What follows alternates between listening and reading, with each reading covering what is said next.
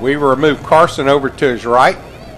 He'll take the snap, three step drop, step up in the pocket, going for it all across the middle into triple coverage. He got it. He no center call, touchdown! Oh my goodness, what a play!